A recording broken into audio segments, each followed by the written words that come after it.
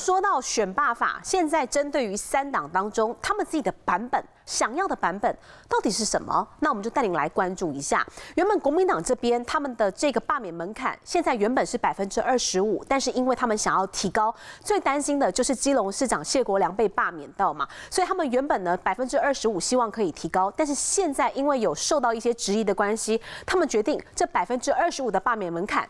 不要动。不过他们有新增一个就职一年才可以罢免的规定。再来就是也要加严连署的方式，像是如果你今天要进行罢免的话，你必须要附上你的身份证影本。那你可以看到，现在基本上国民党的版本跟民众党的版本基本上已经是一样的。民众党这边一样也是加严连署规定，而且他们也不赞成要变动罢免门槛。可以这么爱爸爸。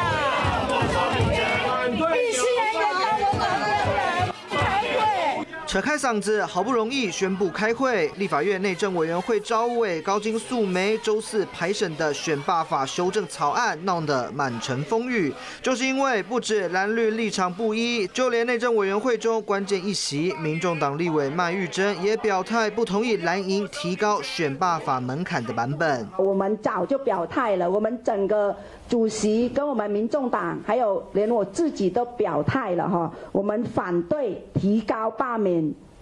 门槛。不认同提高门槛，而民众党团先前也曾表示，修正条例将以完善联署制度优先，将比照总统、副总统选举联署规定，需附上身份证影本。民进党立委吴炳瑞的版本则是要求罢免案联署要附上身份证发证日期。猫民的话将处五年以下有期徒刑或最高一百万元的罚款。国民党原先由立委徐宇珍提出的修正草案中有罢免同意票数需超过被罢免。人当选得票数的条文遭质疑调高罢免门槛，现在也传出考量民众党反对情况下难以通过，决定暂缓原来提案，保留与民众党版本相似的条文。呃，国民党也没有坚持一定要用哪一个版本，民进党对于选罢法的调整也有不同的意见跟看法。我们在这里，我们在行使的是传达公民的意志因为我们的社会绝对不会允许国民党强行通过。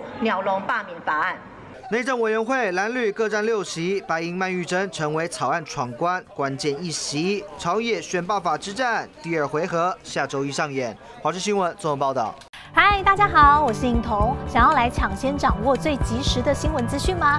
赶快订阅、按赞、开启小铃铛，锁定华视新闻的 YouTube 频道。